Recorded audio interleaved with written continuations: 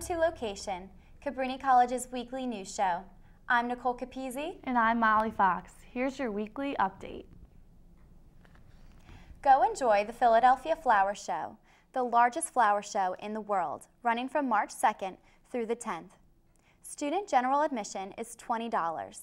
Order your ticket online at visitphilly.com or at the Pennsylvania Convention Center box office. If you're going to be staying close to school for spring break, check out the Blue Man Group, which will be performing at the Kimmel Center on March 5th. This is a unique experience involving comedy and music. The performance is from 7.30 to 9.30 p.m. and tickets start at $25, so make sure you order your tickets online in advance. The fourth Be Beautiful fashion show was recently held by the college's Body Image Coalition.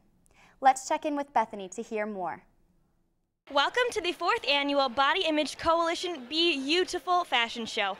I'm Bethany Bigenhill on location for LOQation. Let's check it out. I'm here to see all the confident people strut their stuff on stage, and also a couple of my friends are in it. My friend Andrew is wearing onesies provided by me, like the footy pajamas.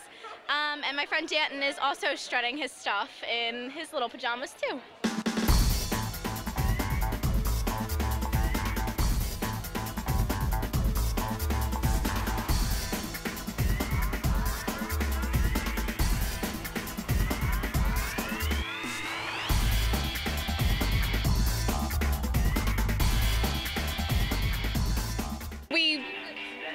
Club through one of our friends, and we decided to join because we just really like the cause that everybody should be able to believe that they are beautiful. We really want to spread a, a, message of positive body image throughout the community and through to our fellow college students because college students are um, one of the biggest groups that are affected by eating disorders in the country. So we want to make sure that we can try to help people feel good about themselves.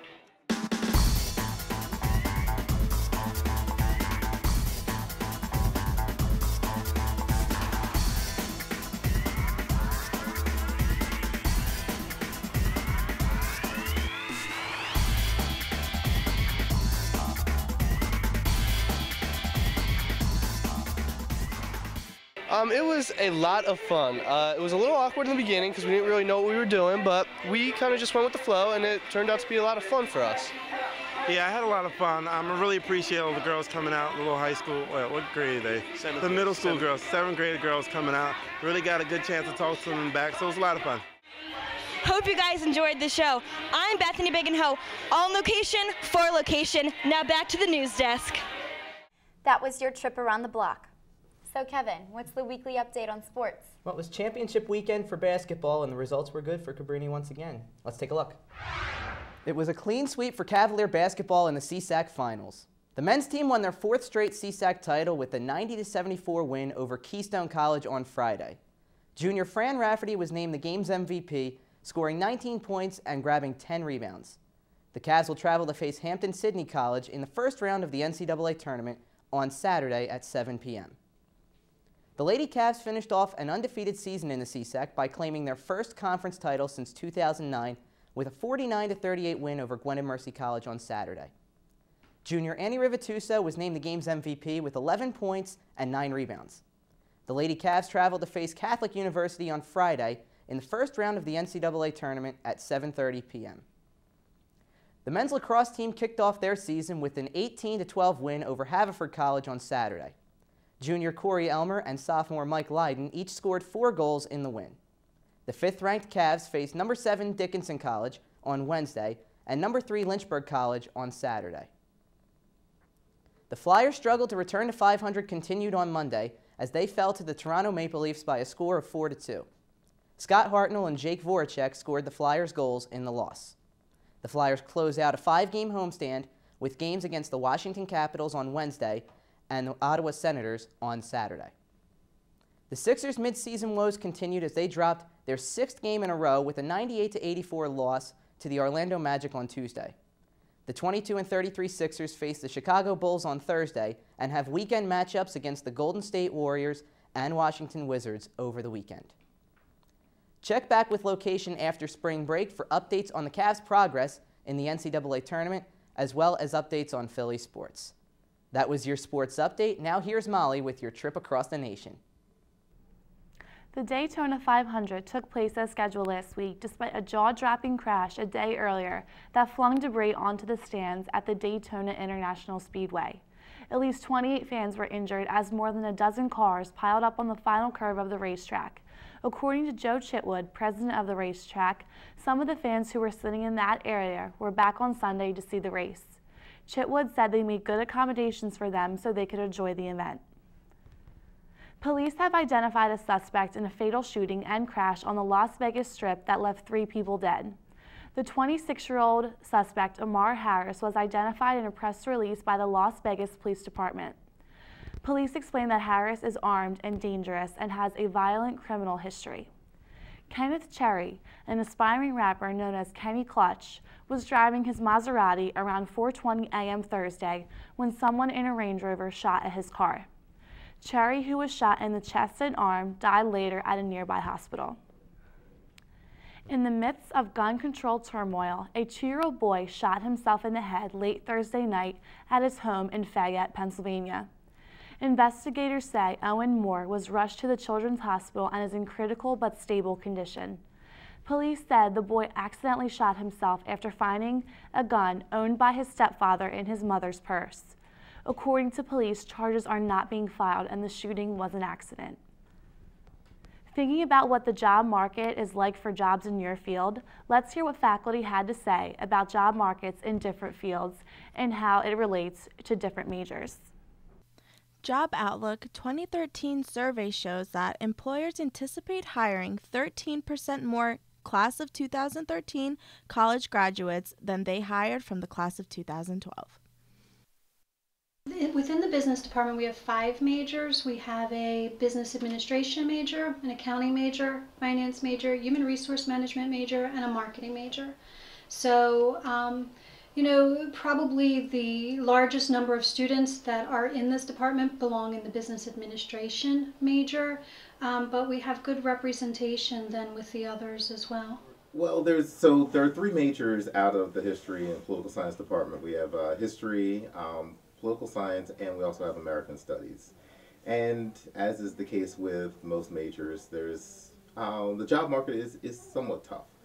Uh, what we found is many of our recent graduates, meaning over the past, I'd say two to three years, have been working in um, uh, in fields that aren't necessarily tied directly tied to um, their degree. Uh, we offer an array of services, uh, including resume writing, we offer cover letter critiquing, we offer practice interviews, mock interviews, we offer any sort of conversation about picking a major, um, especially for freshmen or for sophomores who are a little confused. Uh, we offer co-ops. Um, if you're not familiar with the co-op program, that's an internship where you receive academic credit. Um, and so that's a really good way to kind of try out uh, a major or try out a career. Um, education majors here at Cabrini um, usually pick a certification area, so they, they look at what grade level they really would like to teach at.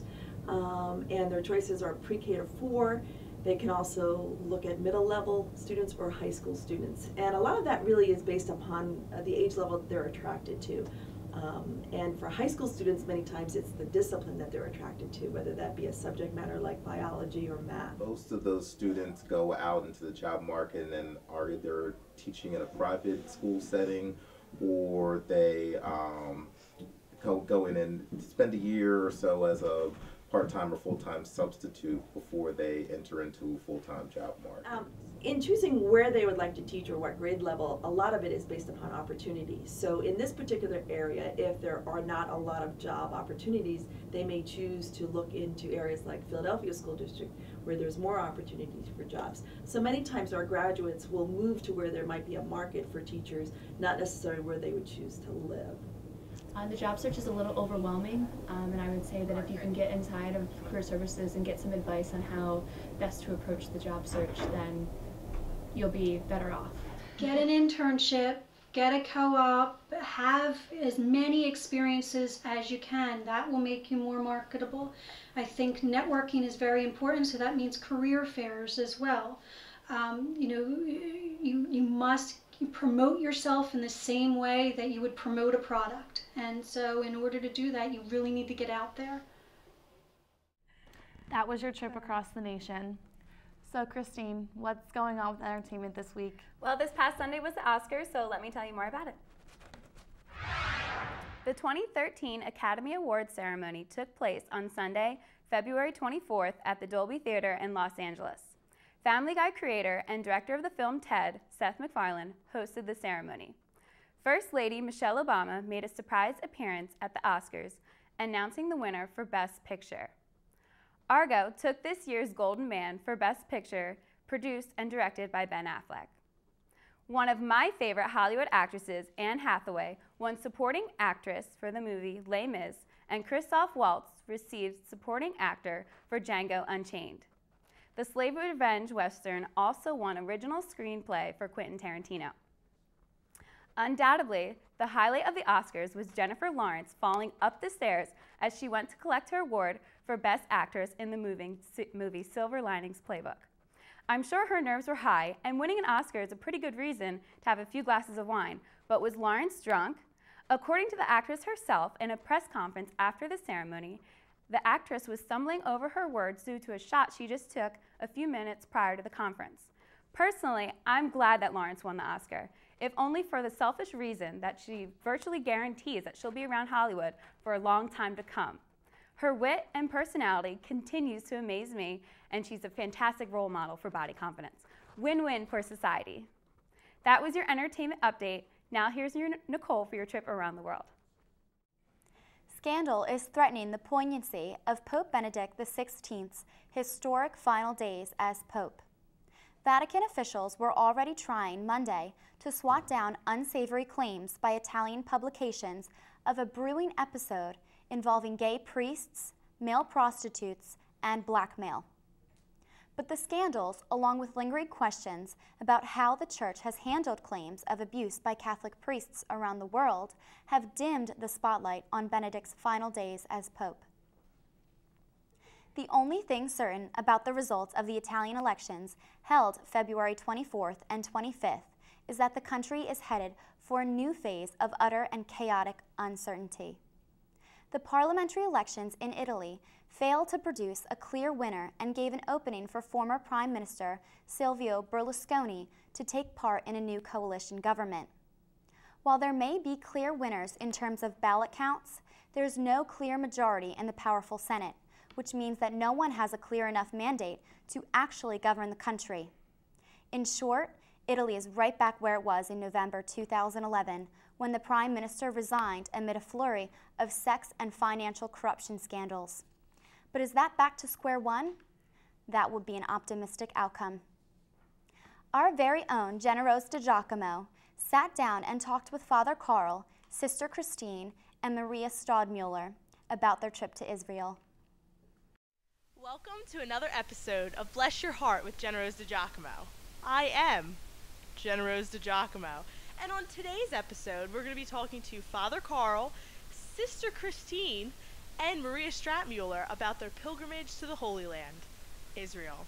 Let's take a look, shall we? So, the college announced that it was going to do an initiative this year for global education. So, campus ministry tries to support the initiative of the college with a spiritual uh, program. So, Maria, my dear, you were one of the 25 students and faculty that went on this trip. What was your favorite part about going? A once in a lifetime thing. So, when else am I going to go and walk on the same steps that Jesus did? So, now, sister, my love, how are you today? I'm just marvelous. Oh, I couldn't be better. Having a wonderful day. You know, it's always the way, right? I know. Well, see, this was on my bucket list. When I hear the Gospels read, the Scriptures read, uh, and hear stories about Jesus, some of them just come so alive because we were at so many places that were important in his life. What was your favorite part or most memorable moment, if I might say so myself? Being in the different spots and hearing the scripture prayers and the prayers that we were saying for the different services. Every every day we had mass and each mass was at like a specific place that was important in the Bible? Three, three nights we were in Nazareth, and then two nights in Bethlehem, and then two nights in Jerusalem. It's a dream of a lifetime that came true. Did you bring any trinkets home with you? Anything valuable? And Father Carl bought the campus ministry and the school nativities. Oh, I can't thank you all enough again. This has been yet another episode of Bless Your Heart with Jennarose DiGiacomo. I am Jennarose DiGiacomo, and there were quite a lot of blessings going around the table today as I talked with the lovely Father Carl, my new best friend, Sister Christine, and my love of my life, Maria Stratmuller. Well, Cabrini, I'll see you in two weeks. Bless your heart. Thanks for catching up with us. For LOQation Weekly News, I'm Nicole Capizzi. And I'm Molly Fox. Be sure to stay updated with us this week through our social media sites. Simply search LOQation News. Have a great week, Cabrini.